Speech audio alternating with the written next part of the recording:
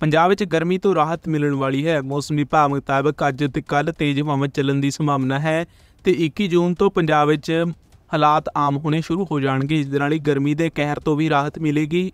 ਇਸ ਦੇ ਨਾਲ ਤਾਪਮਾਨ 40 ਡਿਗਰੀ ਜਾਂ ਇਸ ਤੋਂ ਹੇਠਾਂ ਪਹੁੰਚ ਸਕਦਾ ਹੈ। ਮੌਸਮ ਵਿਭਾਗ ਮੁਤਾਬਕ ਪੰਜਾਬ ਵਿੱਚ 25 ਤੋਂ 30 ਜੂਨ ਦਰਮਿਆਨ ਮਾਨਸੂਨ ਆ ਸਕਦਾ ਹੈ। ਮਾਨਸੂਨ ਮੱਧ ਭਾਰਤ ਵਿੱਚ ਆਮ ਵਾਂਗ ਗੁਜਰਾਤ ਵੱਲ ਅੱਗੇ ਵਧ ਰਿਹਾ ਹੈ। ਜੇਕਰ ਕੇਂਦਰੀ ਅਤੇ ਉੱਤਰੀ ਪੂਰਬੀ ਰਾਜਾਂ ਦੀ ਗੱਲ ਕਰੀਏ ਤਾਂ ਇੱਥੇ ਮਾਨਸੂਨ ਦੀ ਰਫ਼ਤਾਰ ਬਹੁਤ ਮੱਠੀ ਹੈ।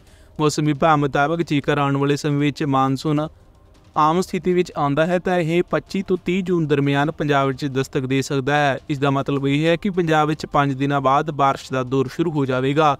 ਦੱਸਦੀ ਕਿ ਪੰਜਾਬ ਵਿੱਚ ਗਰਮੀ ਦਾ ਕਹਿਰ ਜਾਰੀ ਹੈ। ਹੀਟ ਵੇਵ ਦੇ ਨਾਲ ਹੀ ਹੁਣ ਹੁਮਸ ਭਰੀ ਗਰਮੀ ਨੇ ਵੀ ਆਪਣਾ ਅਸਰ ਦਿਖਾਉਣਾ ਸ਼ੁਰੂ ਕਰ ਦਿੱਤਾ ਹੈ। ਹਵਾ ਵਿੱਚ ਨਵੀਂ ਵਧਣ ਨਾਲ ਘੱਟੋ ਘੱਟ ਤਾਪਮਾਨ ਵਿੱਚ 1.2 ਡਿਗਰੀ ਦੀ ਗਿਰਾਵਟ ਦਰਜ ਕੀਤੀ ਗਈ ਹੈ, ਪਰ ਇਸ ਦੇ ਬਾਵਜੂਦ ਪੰਜਾਬ ਦੇ ਤਾਪਮਾਨ ਵਿੱਚ 5.3 ਡਿਗਰੀ ਦਾ ਵਾਧਾ ਦਰਜ ਕੀਤਾ ਗਿਆ ਹੈ।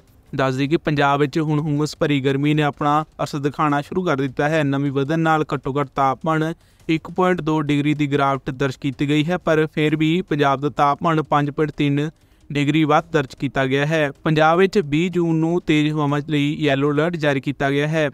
ਪਰ 21 ਜੂਨ ਤੋਂ ਪੰਜਾਬ ਵਿੱਚ ਹਾਲਾਤ ਆਮ ਹੋਣੇ ਸ਼ੁਰੂ ਹੋ ਜਾਣਗੇ।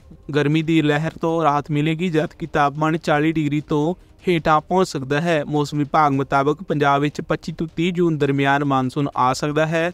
ਮੌਨਸੂਨ ਮੱਧ ਭਾਰਤ ਵਿੱਚ ਗੁਜਰਾਤ ਵੱਲ ਆਮ ਤੌਰ ਤੇ ਅੱਗੇ ਵਧ ਰਿਹਾ ਹੈ, ਪਰ ਜੇਕਰ ਅਸੀਂ ਕੇਂਦਰੀ ਤੇ ਉੱਤਰੀ ਪੂਰਬੀ ਰਾਜਾਂ ਦੀ ਗੱਲ ਕਰੀਏ ਤਾਂ ਉੱਥੇ ਮਾਨਸੂਨ ਦੀ ਰਫ਼ਤਾਰ ਬਹੁਤ ਹੌਲੀ ਹੈ। ਜੇਕਰ ਆਉਣ ਵਾਲੇ ਸਮੇਂ 'ਚ ਮਾਨਸੂਨ ਆਮ ਵਾਂਗ ਮੁੜ ਆਉਂਦਾ ਹੈ ਤਾਂ ਇਹ 25 ਤੋਂ 30 ਜੂਨ ਦਰਮਿਆਨ ਪੰਜਾਬ ਵਿੱਚ ਦਸਤਕ ਦੇ ਸਕਦਾ ਹੈ।